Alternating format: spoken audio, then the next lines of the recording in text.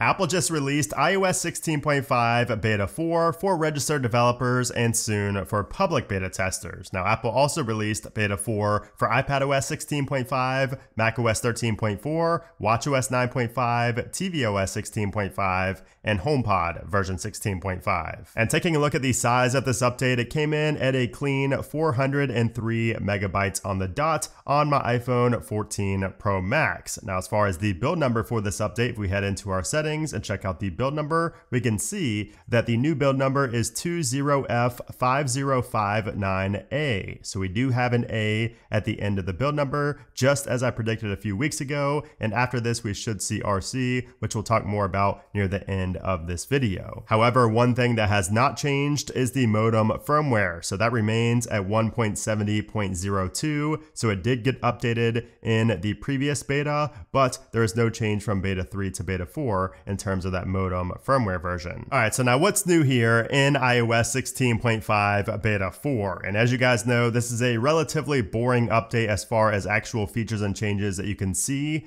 goes. This update seems to be mainly focused on performance, stability, and maybe battery life a little bit, although I haven't seen really a big difference at all in battery life going from 16.4 to 16.5. But nonetheless, I did notice one bug fix, which is this right here. And obviously it doesn't look like a widget, widget, but that is the Siri suggestions widget, and that was not working properly in the previous beta. So this is one of my favorite widgets on the iPhone, and previously on beta 3, this was just not changing the applications. Sometimes there would be blank spots right there, and it just was not working properly in general. But now it seems I can already tell it's already changed once since I updated, so it seems like the Siri suggestions widget is back to working as intended. There's also a small change inside of our settings. So if we go into settings, wallpaper, and then add new wallpaper and scroll down a little bit underneath Unity, you will see that we have a new section called Pride. So in that Pride section, we have a description there. It's for the LGBTQ community.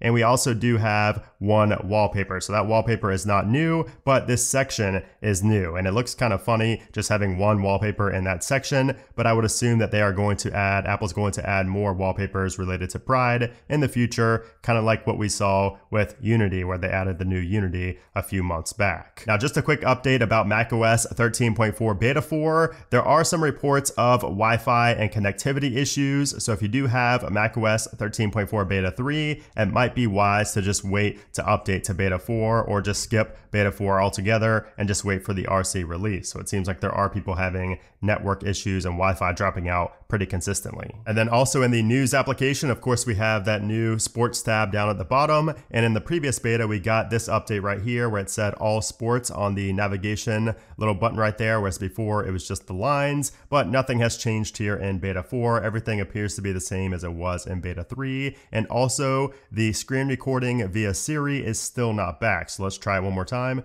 Record the screen. And you can see it always says, I'm sorry, I can't do that here. Or sometimes, since Siri isn't very smart, it'll give me some web results about like screen recording software. So for whatever reason, and it's still kind of a mystery at this point, and I still see a lot of people saying that you can do this in 16.5. Like a lot of articles and everything are still saying that, but it hasn't worked since beta 1. So I'm not sure if people just aren't testing the software, if it's just me testing it. But, you know, I've tried this on multiple devices and it seems that, you know, screen recording via Siri is still not working and it hasn't worked for um, over a month now. Oh, and since people are still wondering every time, no, the select all inside of Safari is still not back. So when you select some text, there is still no option to select all. So I believe this disappeared with 16.4 and it is still not back here in 16.5. So unfortunately, it looks like Apple is just getting rid of the select all inside of Safari just as a change to the software. Now, I did also want to talk about the iOS 16.4.1 security response update. So this is the first public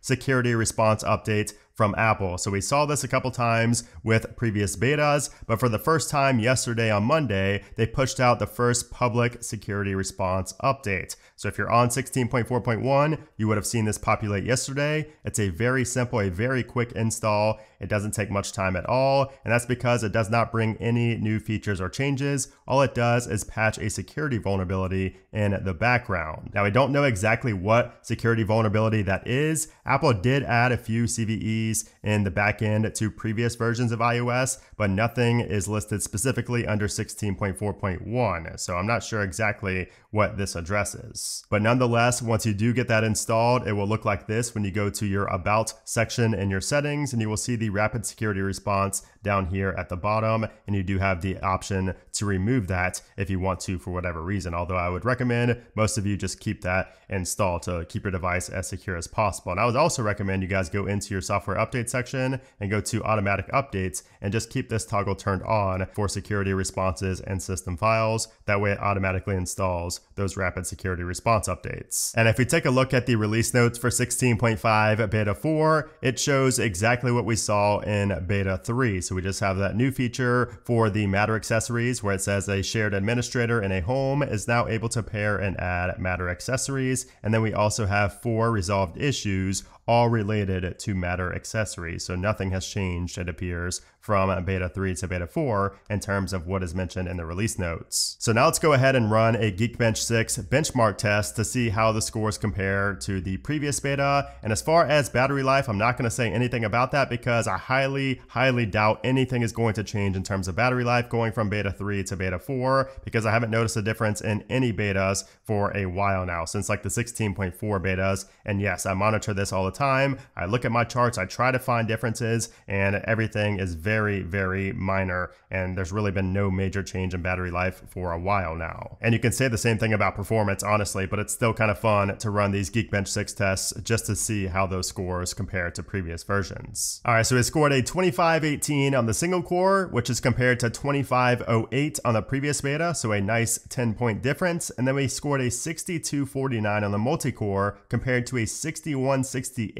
on the previous beta. So also a nice jump in multi-core score. So performance, in theory, based on Geekbench, should be a little bit better. But as I always say, you're probably not going to notice a big difference in terms of day-to-day -day usage. So take these numbers with a grain of salt. It's really just kind of for entertainment value and just to see the scores that we get on a beta by beta basis. All right, so now let's talk about what to expect next from Apple. So just as I predicted a few weeks back, I would expect the RC next week on the week of May 8th, most likely on Tuesday, although the RC releases can always be kind of sporadic. They can really be released at any day after Tuesday, even on Monday sometimes, or even Friday. So it's hard to say. All I know is that we should see the RC next week on the week of the 8th. And then after that, we should see the final release of 16.5 finally on the week of May 15th, most likely right there on May 15th. And then after 16.5 gets released, I would expect to see the 16.6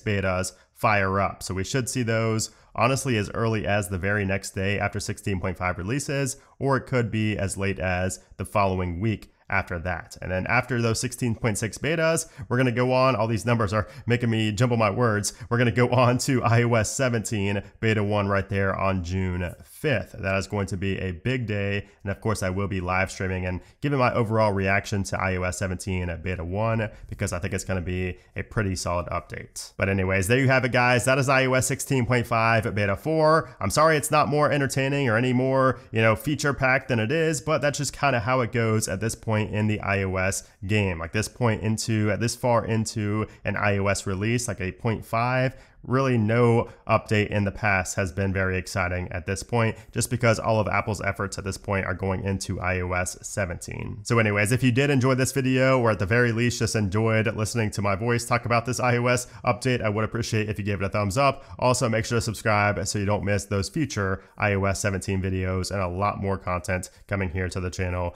very soon. But anyways, guys, thanks again for watching, and I'll see you soon.